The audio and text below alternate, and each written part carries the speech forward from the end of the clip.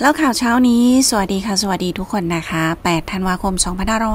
2566 แจ้งข่าวสำหรับพี่น้องเกษตรกรนะคะ คลังเลงขยายเพดานพักหนี้เกษตรกร มูลหนี้เกิน 3 0 0แสนร่วมโครงการได้นะคะฝั่งทกสระบุเกษตรกรแจ้งความประสงค์พักหนี้แล้วนะคะ 1.6 ล้านคนดำเนินการเรียบร้อยแล้ว 15เปอร์เซ็นต์ เช่นเคยนะคะ ก่อนไปรับชมรายละเอียดเพิ่มเติม ส่งกำลังใจให้แอดด้วยการกดไลค์ กดแชร์ กดติดตามเล่าข่าวเช้านี้ เพื่ออัปเดตข่าวสารใหม่ๆด้วยกันที่นี่ทุกวันไม่มีวันหยุดนะคะล่าสุดนายจุลพันธ์อมรวิวัฒรัฐมนตรีช่วยว่าการกระทรวงการคลัง เปิดเผยมาตรการพักหนี้เกษตรกร เราได้ดำเนินการในเฟสหนึ่งเรียบร้อยแล้ว โดยพักหนี้ให้ในส่วนที่มีมูลหนี้ไม่เกิน 3 0 0แสนบาทนะคะ และเราเตรียมดำเนินการในเฟสสองซึ่งจะพิจารณาพักหนี้ให้สำหรับผู้ที่มีมูลหนี้เกินกว่า 3 0 0แสนบาท แต่แนวทางการพักเราจะพักให้เฉพาะ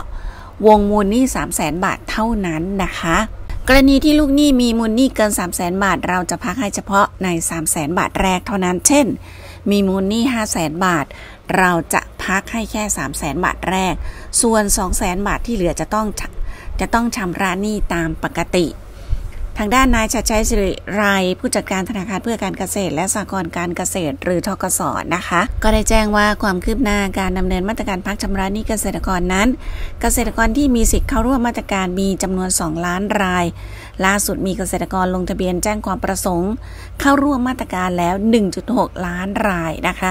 คิดเป็น 70%จากจำนวนผู้มีสิทธิ์ทั้งหมด โดยขณะนี้อยู่ระหว่างการติดตามเอกสาร เพื่อทำสัญญาอิเล็กทรอนิกส์ ทั้งส่วนของผู้กู้และผู้ค้ำประกัน เพื่อให้นิติกรรมสัญญาสมบูรณ์ โดยมีระยะเวลาถึงสิ้นเดือนมกราคม 2567 นะคะโดยขณะนี้ดำเนินการสำเร็จแล้ว 15%คนที่ยังไม่เข้ามาตรการพักหนี้มีอยู่ 30%จากสัดส่วนดังกล่าวนะคะ มีลูกหนี้ 50,000 ราย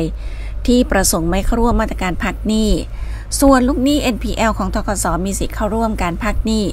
600,000 ราย มูลหนี้อยู่ที่ 3.6 หมื่นล้านบาทนะคะ ซึ่งเข้าร่วมมาตรการแล้ว 3 0 0แสนรายคิดเป็น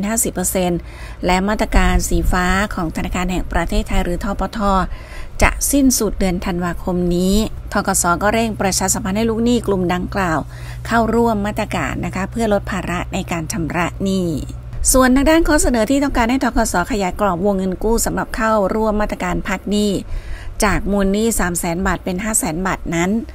บอร์ดทกสก็ได้มอบหมายให้ธนาคารพิจารณารายละเอียด และเสนอให้บอร์ดพิจารณาอีกครั้งนะคะ อย่างไรก็ตาม ธนาคารได้เรียนว่าขอขอให้การดำเนินการมาตรการพักหนี้ระยะที่ 1 สิ้นสุดในช่วงสิ้นเดือนมกราคม 67 ก่อน เพื่อดูว่าจำนวนลูกหนี้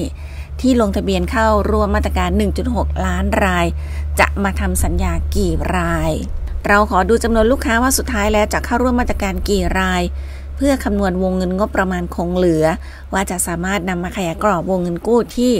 ลูกค้ามีหนี้มากกว่า 3 0 0แสนบาทได้เพิ่มขึ้นอีกมากน้อยเพียงใดนะคะ และจะพิจารณาประกอบกับการใช้งบประมาณอุดหนุนจากมาตรการกึ่ง การคลังพรบวินัยการเงินการคลังมาตรา 28 ด้วย โดยเราจะเตรียมข้อมูลทั้งหมดเพื่อเสนอบอร์ดอีกครั้งนะคะ แจ้งข่าวดีพี่น้องเกษตรกรนะคะคลังเล็งขยายเพดาน พักหนี้เกษตรกรเฟส 2 มูลหนี้เกิน 3 0 0แสนบาทร่วมโครงการได้นะคะ อัปเดต 8 ธันวาคม 2566